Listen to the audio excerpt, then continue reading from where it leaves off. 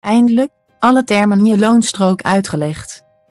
Heb je wel eens met opgetrokken wenkbrauwen naar alle termen op je loonstrook gekeken? Of overweldigd door alle cijfertjes het zal wel goed zijn gedacht? Heel begrijpelijk. Maar eigenlijk is dat best gek bij zo'n belangrijk papiertje. Daarom voor eens en altijd, de termen op je loonstrook uitgelegd. Samen met Arco Man, salarisadministrateur bij Mediahuis, lopen we door de loonstrook heen. Voor het gemak maakten we ook een voorbeeld van een loonstrook, om het allemaal net wat duidelijker te maken. Elke loonstrook ziet er namelijk weer anders uit. Zelfs binnen een bedrijf kunnen loonstroken verschillen. Zie jij op de jouwe nog een term staan die we hieronder niet hebben behandeld? Stuur een mail naar e-mailprotected en we voegen hem toe. Pak er een kop koffie en je eigen loonstrook bij en laten we hem doorlopen. Dan snappen we voor eens en altijd waar je salaris eigenlijk uit bestaat en waarom je bruto salaris anders is dan het bedrag wat er netto op je rekening wordt gestort. Op iedere loonstrook is algemene informatie te vinden over jou en het bedrijf. Hiermee bedoelen we bijvoorbeeld de naam en het adres van het bedrijf en jouw geboortedatum. Natuurlijk staat ergens op je loonstrook ook je bankrekeningnummer waar je hardverdiende centen op worden gestort.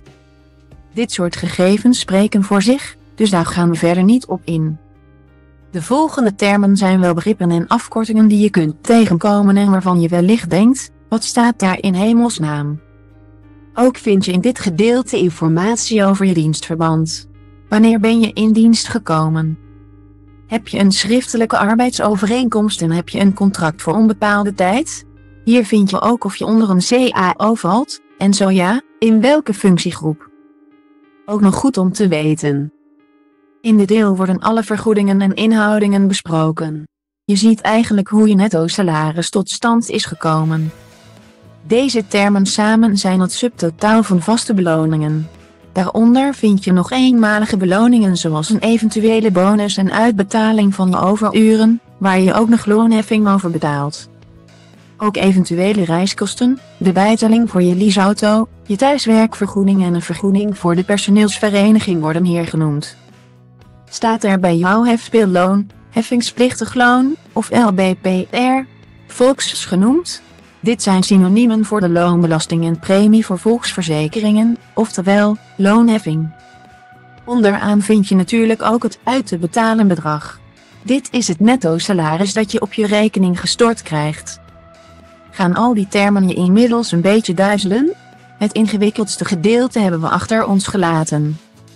In dit onderdeel kunnen ook zaken staan als reiskosten en overuren, en hoeveel je dit jaar tot nu toe hebt gekregen. Dat is een hoop informatie in één artikel. Sla het artikel op om er later nog eens een keertje naar te kijken. Of klop eens aan bij de salarisadministrateur in je eigen bedrijf. Die legt de termen vast met alle liefde voor je uit.